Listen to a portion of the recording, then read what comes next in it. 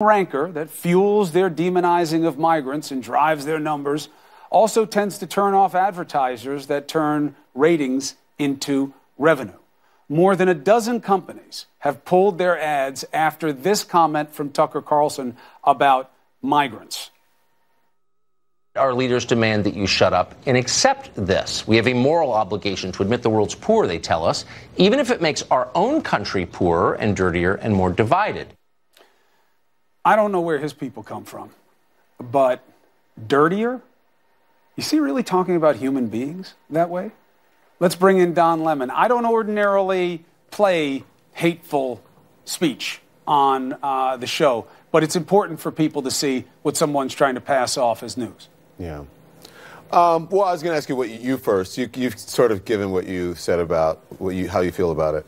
Um, I don't want to. I usually don't. I try not to criticize colleagues. Remember the whole thing with Megyn, whatever. But it was part of the news, and, you, and people ask. Um, here's here's how I feel about it.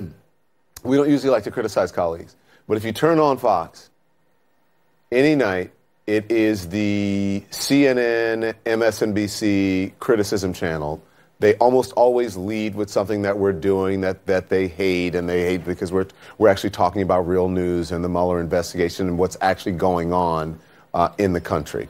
So I, it, another reason I don't like to do it is because people in glass houses shouldn't throw bricks because one day it could be you or me. Because we sit here and we're live. I'm live t- for two nights at least every single night. And sometimes you say things and it comes out and you don't you didn't realize you said it or it comes out the wrong way and you offend people. But here's the difference. And I don't think it, people should be boycotted for something that they do that's a one off, or maybe every occasionally you make a mistake and you say something wrong.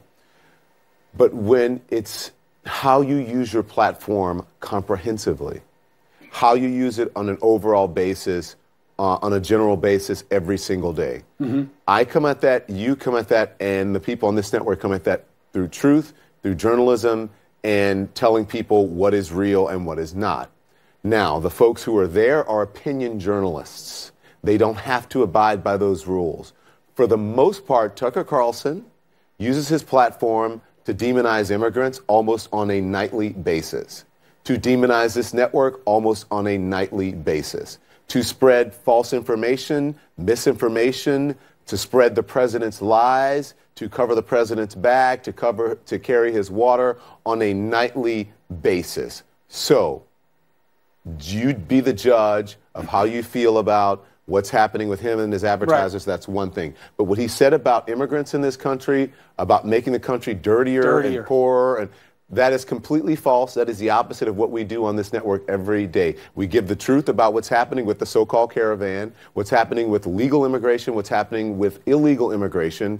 And, and we know, the studies show, that immigration has and continues to make this country a better, stronger, more productive, and vibrant country. That's why you're here, I'm here. That's why we do what we do, because of immigration in this country.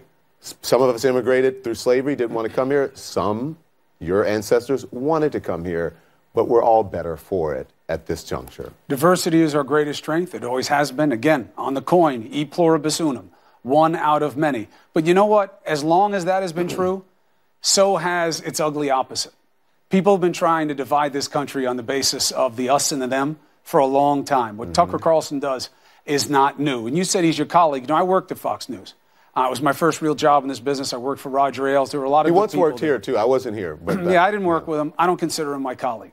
um, I think the Trump trio are in a different business than the one that I'm in. They have different tactics. Uh, they have different reasons for doing it, and they have different goals of mm-hmm. what they're trying to do. So I don't consider him a colleague.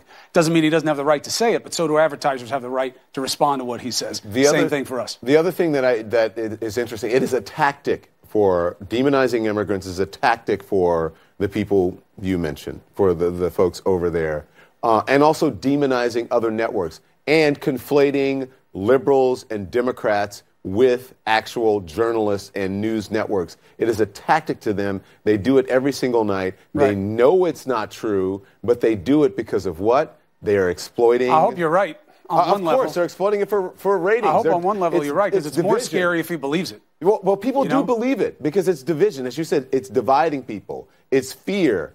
Every I don't even single actually, night. now that I think in, about it, I don't even know what's worse.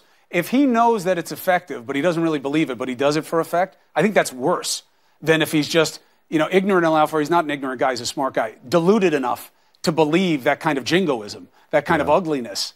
Um, and it's not like I'm looking for a fight. When the guy is, I guarantee you in person, he's not going to be that loud and proud, uh, you know, puppy dog puss. This is about TV and what he comes across as. The reason not to fight it is I don't want to give it too much of an audience, although they already have a huge audience within Fox. But we got to call it out. I don't care what advertisers do. If they want to be in, they're in. If they want to be out, they're out. That's the business model. But the idea of saying that we are forced, they're forcing us to take in these people. Who's they? No. Who's us? That's what we need to call out because it needs to stop. But I'll be back with you at the top of the hour. Hey, I, got, hey, I know you got to go, but you, you won't believe the conversation I just had with Van Jones, and we're going to be talking about.